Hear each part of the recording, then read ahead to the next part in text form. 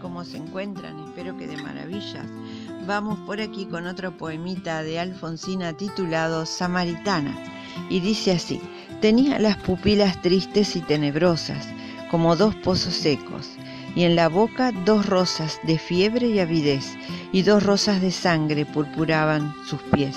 Limpia muchachas, rubias volvían de la fuente con las cántaras llenas de agua clara y bullente, y, clamó él, piedad, pero ellas pasaron sordas a su ansiedad. Las muchachas de piedras cantando se alejaron, y en el aire una estela de frescura dejaron. Él gemía, mi alma gritó entonces, piedad, y el grito entre mis labios se hizo clamor, piedad.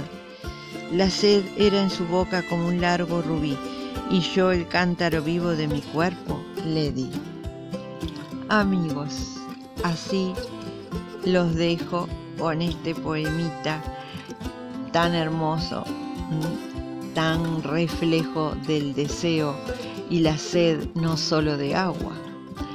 Por aquí amigos, sigan disfrutando de lo que resta del videíto y no olviden poner un dedito para arriba, que significa montones para mí porque eso hace que YouTube comparta más los videos y lleguen a más personas. Muchas bendiciones y nos vemos en el próximo. Amor para todos.